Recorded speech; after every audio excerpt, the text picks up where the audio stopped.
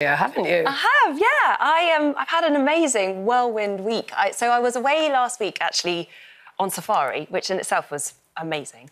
And then I got a phone call to say that there was going to be a roundtable on accessible travel at the White House on Tuesday. This was on Thursday or Friday.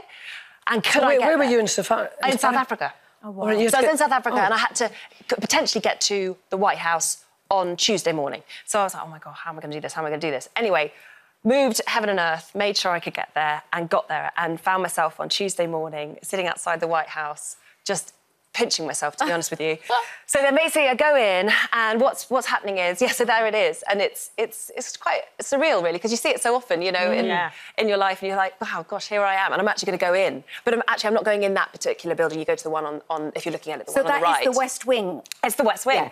So I go into the West Wing, and what's happened is the um, Secretary of Transportation, Secretary Buttigieg, he's basically called a like all of the disability activists in the US that are interested in accessible travel, and he wants to do a roundtable to understand what are the, the problems that uh, we're all facing. And as somebody from the UK who's been spearheading a, campaign called Rights on Flights for the last, well, since I announced the campaign at the beginning, when I was on loose actually in February, because my wheelchair got broken by an airline. Anyway, so I've been campaigning over here.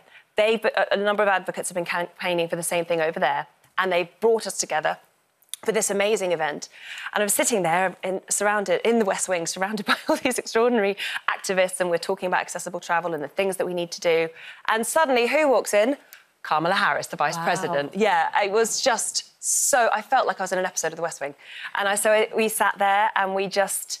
She listened to activists around the table talking about the problems with travel, whether it be on the train, whether it be on, on an aeroplane, and the things that we need change. And the, they, they basically committed to saying that what we're going to try and do is get a law through the Senate that will mandate that wheelchair users can travel in their chairs on an aeroplane.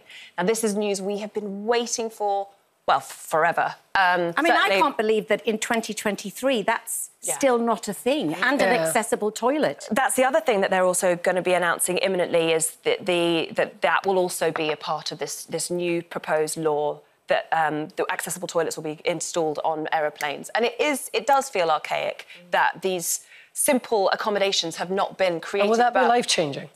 beyond life changing. I mean, flying is it's it transcends mere convenience now. It's a it's a it's a human right, really, being able to to fly because we need it for not just for work. We need it for you know, you might have to fly for medical reasons. You might have to fly to see Family. your family. Yeah, yeah. Absolutely. But you, you told me earlier that Kamala Harris was incredibly moved by a man who said Yeah. that he'd. There was an that- ac- there was an activist there who was saying basically he had to give up flying because he's a high, he has a high level spinal injury and he can't transfer out of his chair into an aeroplane chair. And as a result, he's never been able to take his wife to Paris, and that's all he wanted to do. And it really humanized the story. I think it really made people see. This is what we're, we're having to sacrifice, and and you know I'm one of the lucky ones that can fly, but it's very difficult. But for some people, it's at the moment completely impossible. Impossible. Mm. So this law will change things if they can get it through the Senate. What I what I want to know now is what's this going to do here in the UK? Is this going to influence our government to take the same measures and to and to do more to protect us? Or are they just going to wait and watch and see and But airlines reactive? can also do things without even waiting for a Yeah. thing from the government. You said they? it. You Yeah. took the words right out of my Yeah. mouth. Absolutely.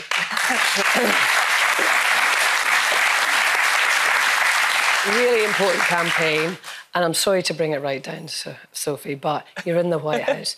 Did you nick a wee ashtray and toilet roll? I mean, come on, I you wanted would. to. I would. I know. I looked. I looked. for Don't you one. look scandalised? Oh, don't you? You would. I didn't even know. I didn't. I didn't actually get to ch- pinch anything apart from my name tag that just had my name and a little emblem of the White House, and I've just. Oh, that's I've got nice. that. I've got that. That's Oh, it. I nicked would, toilet paper once from Fergie and Andrew's house.